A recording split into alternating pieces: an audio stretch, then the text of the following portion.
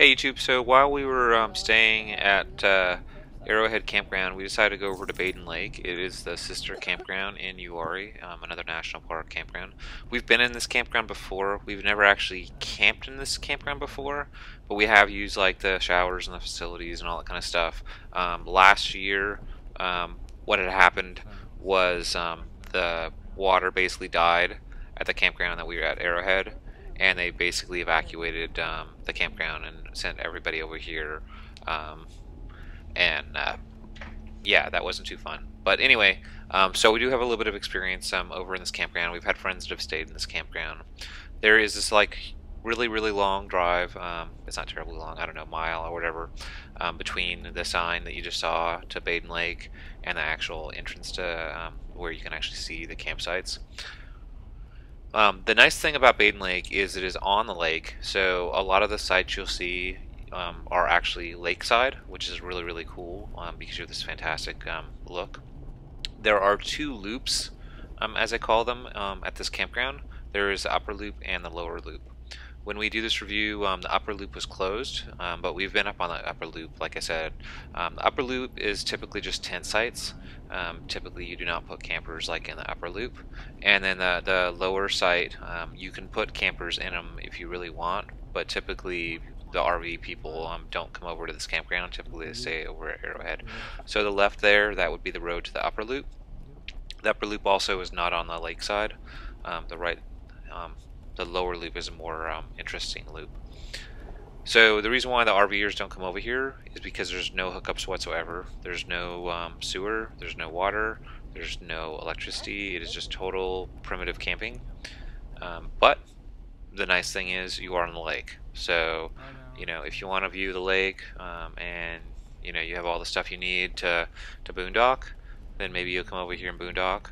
Um, however, most of the people go to the other side, go to Arrowhead where we were at, and they get water and uh, at the dump station because there's like a water hose there, um, and then they uh, they use electricity and then they dump when they leave. Um, and as you can see, um, on the right there's a uh, pull-through site. Um, they have pull-through sites that are pretty damn big. Um, they have back-end sites. There's a lake right there. There are people that are that are camping over here, but Arrowhead was 100% full when we were there for Thanksgiving. So most likely these people um, were a little bit upset that they probably couldn't camp over at Arrowhead and they were camping over here is, is kind of my guess. So the odd number ones. It is, you know, awesome that it is on the um, the lake like you can see and the sites are, are humongous. Um, we just passed one of the restrooms. The restrooms are kind of tiny but they're very very clean, very very nice. Um, there is a sign on the restroom door. I forgot what um, what the price was, but there's a price that they want you to pay every time you take a shower if you're not camping in this campsite and you came over here for some reason. Like let's say you were camping in the wilderness and then you wanted to come over to the national park to take a shower. Um, there's like a small fee that you pay the ranger um, to use the facilities, a couple dollars, so not really that um, that big of a deal and uh, there's a bathhouse right there. That's what that's what they look like. They're like I said, they're pretty small, and that's the second one. There was another one that we passed that looked just exactly like that one, and uh, they're pretty well distributed. Um, it's not too big of a walk to, um, from almost anywhere in the campsite to get to one of those restrooms. And you can see the size of these sites. Um, there's a uh, like a half ton or three quarter ton with a pretty uh, good sized trailer with uh, you know UTV, and obviously Uwharrie is a national park that has a lot of um, OHV trails for uh, jeeps and side by sides and ATVs and everything, motorcycles. So because of that, uh, this particular national park has a, a, much bigger attraction to the um, off-road community. The other thing is, is, since this park is located in North Carolina, there is not really a whole lot nearby other than this park um, that is like off-road kind of worthy there's Windrock Park in Tennessee, and then there's Pennsylvania where we go all the time. So I'm going to jump over the group site. They do have group sites. So um, you basically just go past the sign and you make a right turn instead of making that left turn to uh, the main part of the campground. And I'm not going to go like in super close to this group site because we didn't reserve it and there's other people that were using it.